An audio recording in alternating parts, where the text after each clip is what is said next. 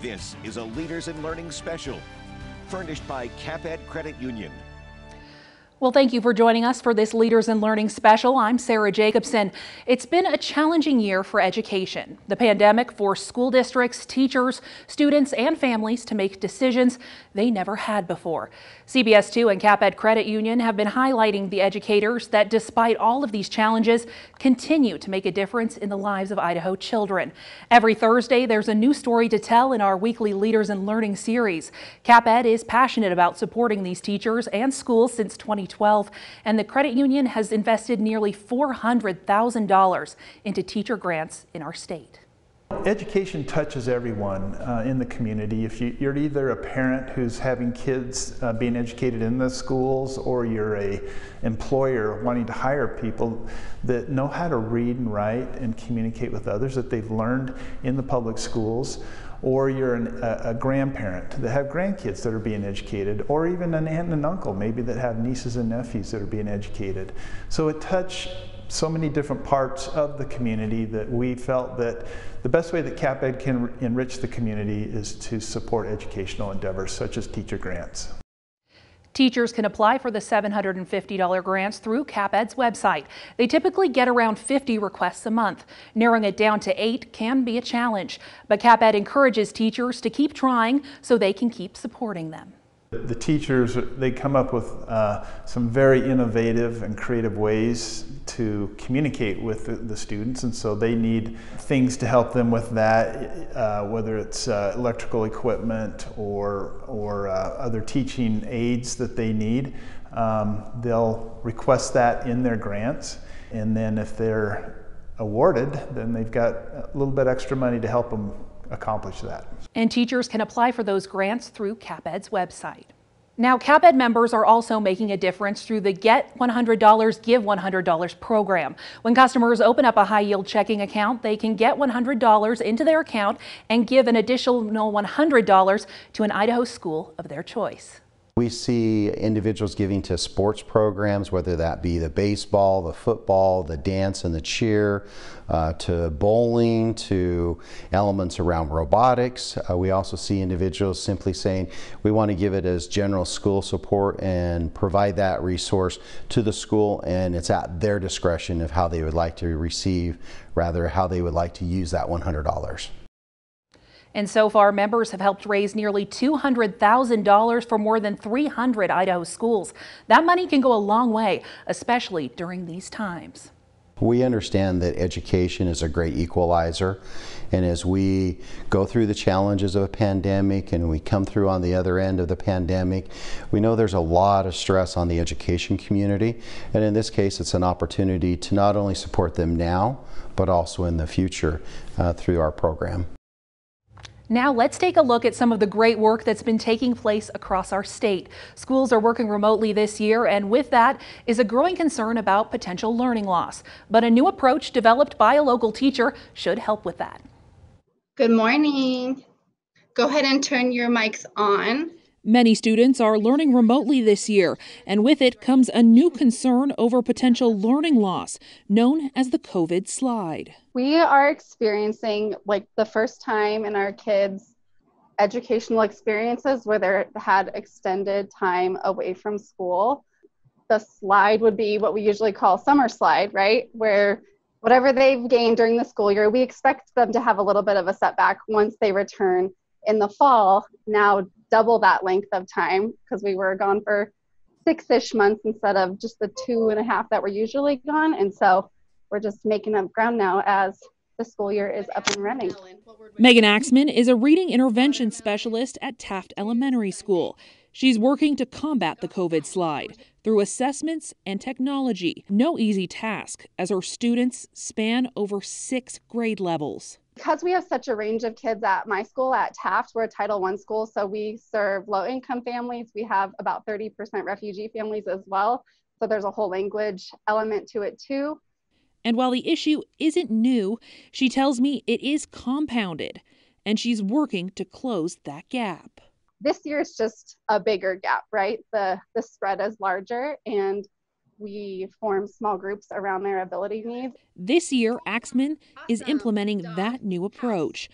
Following a state iStation assessment, students are then placed into small virtual groups based on pinpoint criteria. She tells me that she's already seeing a difference, giving her students one on one attention based on skill level, but also fostering collaboration.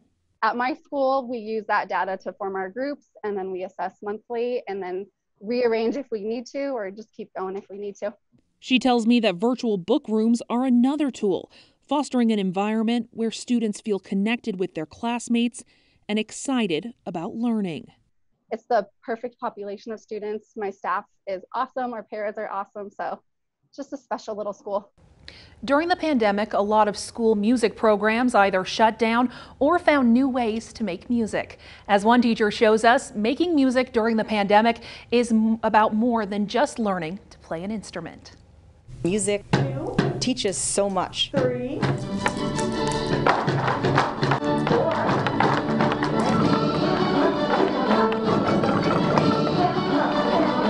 Repeats, remember, because we play through it once and dot, dot, line, line, play it with me one more time. We go back and do it a double time. It has been proven so many times how good it is for brains, especially young developing brains, because every day we are we are learning a foreign language, whether you um, can see that or not. Um, we are doing reading skills because we're tracking things left to right. Erin Middlehoven is the music teacher at Crimson Point Elementary School in Kuna. Teaching sixth grade levels twice a week, she's making sure her students stay safe while learning. A lot of different things we can do with that. It's never a dull moment. With coronavirus restrictions like physical distancing and masks, Miss Middlehoven and other music teachers in her district got creative. Most of my job involves playing instruments, singing, and moving. And that's like probably 99% of my job. And those three things are kind of off the books. We can't do a lot of them this year. Her class is socially distanced and masked, but it's these individual instrument kits that are helping keep the tunes alive. Music is everywhere, right? Um, we can make musical instruments out of just about anything, and that's half the fun. From beat boards to drumsticks, pool noodles. They make a really nice little sand block. And even a beat buddy. It's a good way to kind of give them that inner sense of beat, and they bounce it on their hand. This doesn't stop at her class. Mrs. Middlehoven created these individual music kits for each student at her school. Each bag contains different instruments and tools based on age group, keeping the music alive for this generation of young learners. They will have skills that they will use and enjoy the rest of their life. So that's that to me is the most important, I think. Coronavirus has upended consumer science classes. Students are now required to have their own supplies. I spoke with one local teacher who says she's in need of some extra measures. Our district scores rather low in fractions. Kids have a hard time with it. Um, and so when I do it in here, it's funny you eat it you know it's fun but um, with the new covid restrictions it's individual equipment so they can't even share a measuring spoon. They can't they can't share any equipment, which makes it tricky. Tricky and tedious. With a working budget cut by 80%, and now only two students per kitchen and individual tools for each student, Mrs. Tanya King, family and consumer science teacher at Lowell Scott Middle School, is getting creative. I read up on the CDC guidelines, I read up on the LEAD FCS document, and I highlighted, and went through and summarized everything for the department, told the principal, and she said, We don't have the money for it. An educator for more than 30 years, Mrs. King tells me that many life skills are learned in this classroom, from cooking to sewing and understanding how to create. You learn more by doing, right? From measuring labs to cooking healthy meals, even learning how to sew their own masks. But Mrs. King tells me she's doing all she can to give her students the opportunity for hands on learning.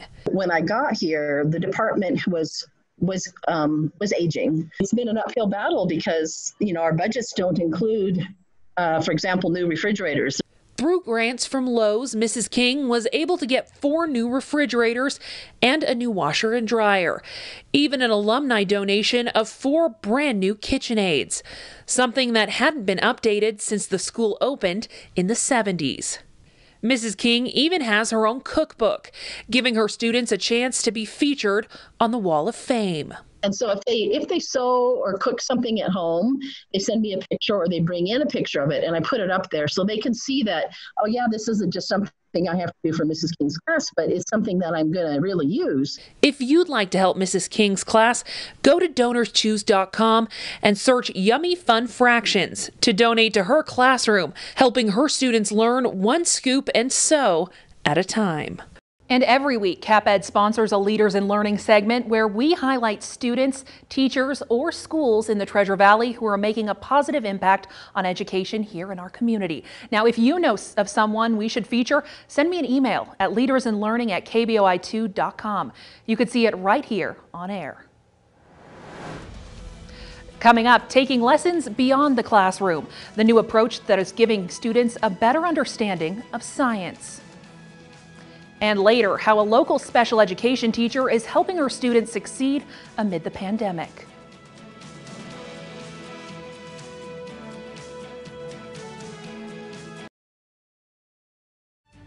This is a Leaders in Learning special, furnished by CapEd Credit Union.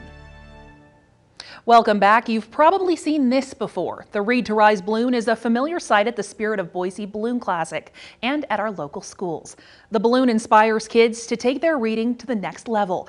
Back in 2016, CapEd started the Read to Rise program. It's a fun competition that keeps kids reading during the summer so they don't fall behind. Now, since the program started, more than 740 students from nearly 80 schools have read more than 500,000 total minutes. That's a lot of books.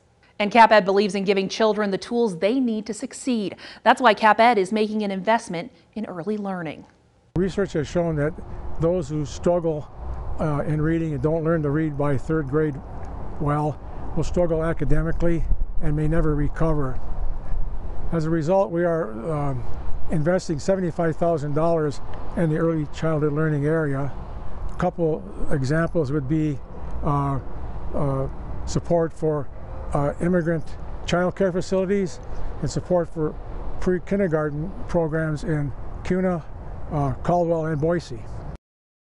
And for many at CapEd, supporting students isn't just part of their job, it's about making a difference in the communities that they serve.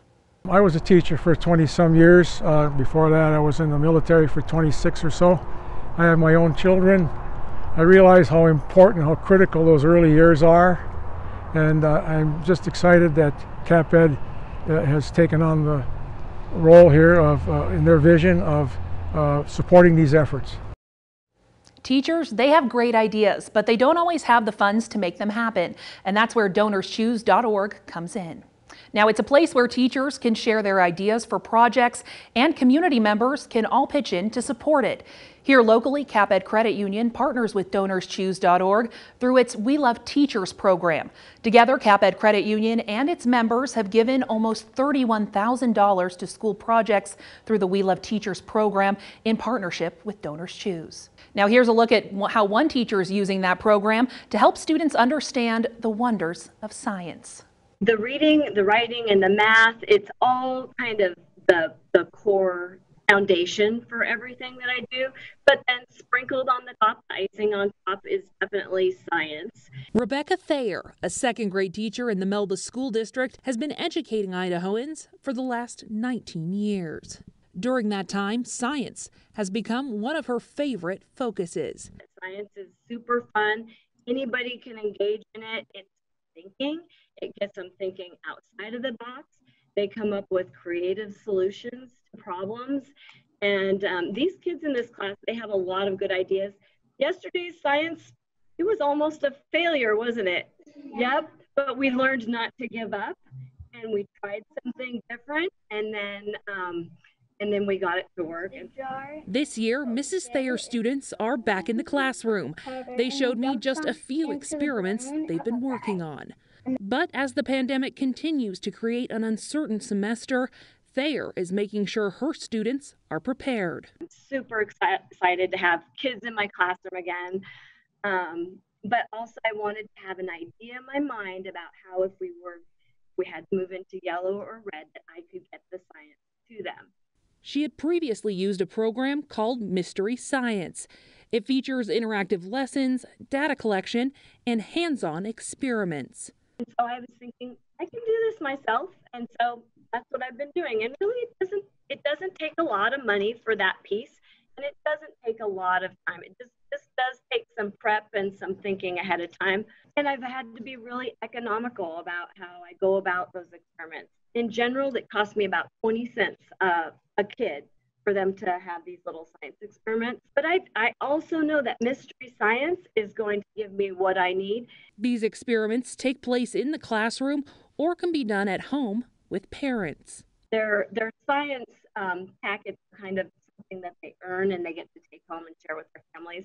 I have almost all my kids get their homework done every week so they can bring home their um, science experiment to do with their families. And this isn't just for her classroom.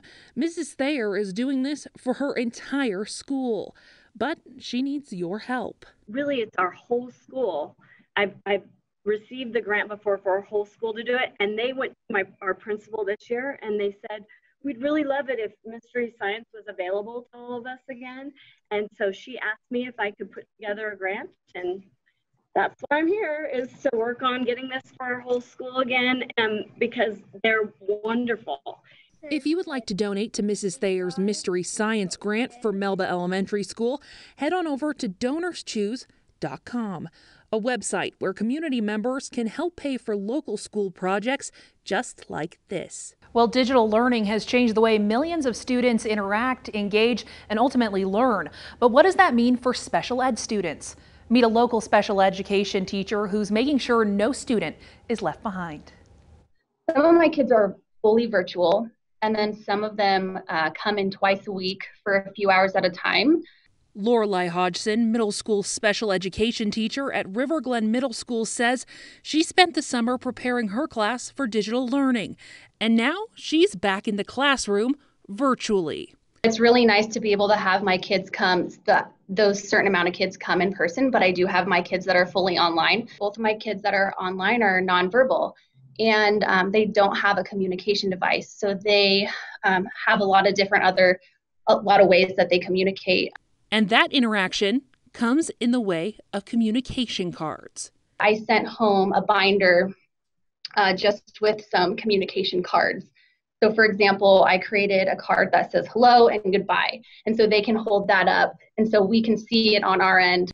And that communication, coupled with interactive activities, she says, makes all the difference. Uh, we have been using a platform called Boom Cards.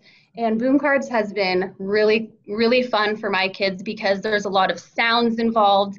Um, my kids are lucky enough to have touchscreen devices, so they're able to um, touch the screen and it will make a sound. And it's not just her students, she's working to help. I mean, I'm teaching parents now too. Um, a lot of my um, parents are amazing and are working with their kids at home so that way they can access you know the materials and the education and um, yeah the curriculum that we're implementing we've all been learning a lot um, you know how to share our screen and how to put it in present mode and um, how to use the chat feature and they're just amazing and i i think their their kids are really learning you know how to communicate with their parents and me through this virtual learning. Ms. Hodgson sent me this video of one of her virtual classes. She says engagement and understanding are her two goals, whether that's with boom cards, sing-alongs. She tells me she couldn't do it alone. I've been able to see the positives of this is that I'm able to see the parent working with their student, and that's teaching me like what different ways that I can work with that student as well. So I've just, it's been, it opened up this whole new realm of like, oh, I never even thought of that, or, you know.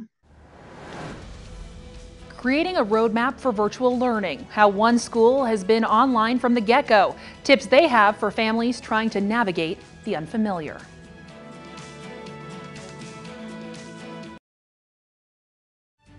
This is a Leaders in Learning special, furnished by CapEd Credit Union. CapEd's focus on early learning is literally impacting thousands of children, families, and early childhood educators across Idaho. That's Beth Oppenheimer with the Idaho Association for the Education of Young Children. The AEYC works to help children from birth to five years old get a jump start on their education. Preparing a child for school begins at home, but parents can often feel unqualified. So the Idaho AEYC and CapEd teamed up to make tools available for all Idaho parents. CapEd has consistently and generously funded Idaho AEYC to deliver our Ready for Kindergarten program since 2016. And we know that it, when it comes to early learning, young children really learn best through engagement with people that they love and they trust. So whether that is a parent at home, a child care provider, a teacher, a grandparent, whoever that might be. So what does high quality early learning look like? It doesn't have to be formal. In fact, it's actually the opposite. The AEYC encourages parents to play with their children with the secret of purpose for preparing them for school. For more information on the AEYC, its workshops, and how you can get involved, go to idahoaeyc.org. Now, digital learning has been a hurdle for just about every school district in Idaho, and yet there are some schools that have been virtual from the beginning. I got some tips and tricks from an expert in the field. As schools across Idaho transition to digital learning, Kelly Edginton, head of school for Idaho Virtual Academy, says their school is leading the way online. When that pandemic hit, our kids had this unique benefit that everything was falling apart in the world, right? It seemed like and they had a unique situation where they could consistently school. An educator in Idaho since 1991, Edginton began her career with Idaho Virtual Academy in its infancy back in 2002. I don't think anybody knew much about virtual education, so I really had a unique opportunity to help build our school from the ground up. Starting with just 900 students back in 02, Edginton tells me she empathizes with teachers and educators across the state right now. It was very difficult. And but we started putting it together then and working together to build together. And, and I would imagine things like that are happening in the brick and mortar schools that have been forced into that too. And she says during that time, their teachers were leading, thinking outside the box, problem solving, and helping navigate their way through digital learning. We need a teacher. And so the teachers are just such a vital part of any education system. And, and it's evolved. So teachers are teaching classes every day live on online and we work really closely with families. She tells me that families choose Idaho Virtual Academy for different reasons, whether that's a flexible schedule or needing additional guidance for special education or the gifted and talented. But this year, she says, has given Idaho Virtual Academy a chance to help. She shared a few simple tips. Be organized, have a plan. I like to have a calendar. I block off time to do things and your calendar can get away from you too. If you're working at home uh, sometimes you might look up and it's nine o'clock at night. Don't let that happen. So you've got to have some personal time for yourself. She also says communicating with families and having a positive mindset are all intentional tangible ways for success. For more tips head to idahonews.com and click on this story well, thank you for joining us for this CBS 2 Leaders in Learning special. To see more of our stories from this series, go to idahonews.com. And if you know of someone who's making a positive impact on education, send me an email at leadersinlearning at kboi2.com. They might be featured right here in our weekly Leaders in Learning segment sponsored by CapEd Credit Union. Thank you for watching.